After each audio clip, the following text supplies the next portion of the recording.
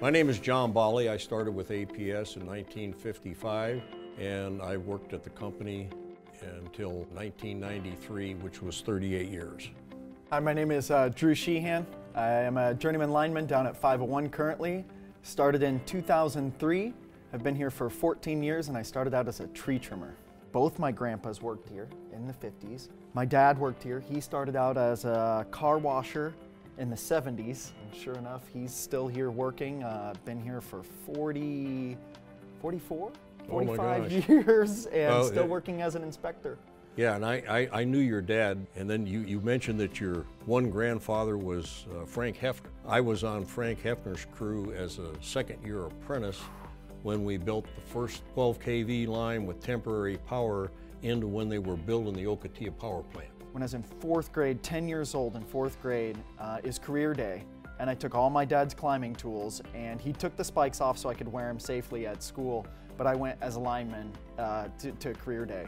Hearing about those stories, how well it, it uh, took care of my family financially, um, such a community, all the friends and, and whatnot around, uh, around the family. I, I pretty much knew since I was a small kid that this is what I wanted to do. It was the late 50s before we had any lift equipment to speak of. So everything you did, you climbed poles. And this, this, is, this is a picture of when we were working on a, a line up in northern Arizona. It was my last year of apprenticeship. So as you can see, the journeyman did this and the apprentice started here and went up to here and uh, he did the climbing. He wasn't allowed to ride in the bucket very often.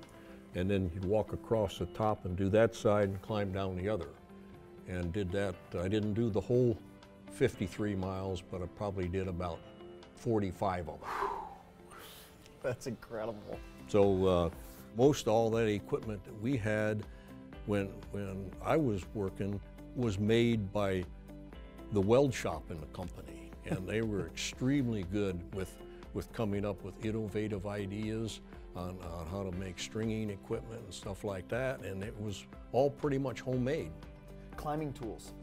They haven't changed much. They really haven't. The pouches, the climbing tools. In fact, I actually still to this day use my dad's climbers that he gave to me 14 years ago when I started in tree trimming. Okay. Most of the equipment, I mean, there's small advances. They, they've made it a lot lighter. Some of the equipment has become lighter.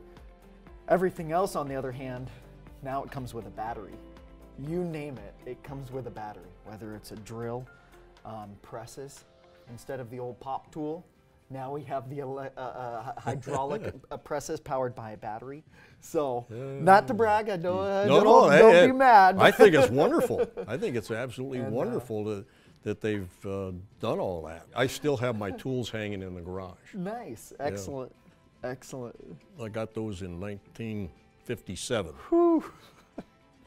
Seen some miles, I bet. I, yeah, but I'm sure the leather isn't very good anymore. No, It's pretty rotten. Pretty rotten. I enjoyed my years working on a crew. And then uh, when I got into management, I really enjoyed what I was doing in there. The whole thing was very rewarding. The, the company had a lot of good people. And, and I think that's what I miss most is, is the, good, the good people that I worked with.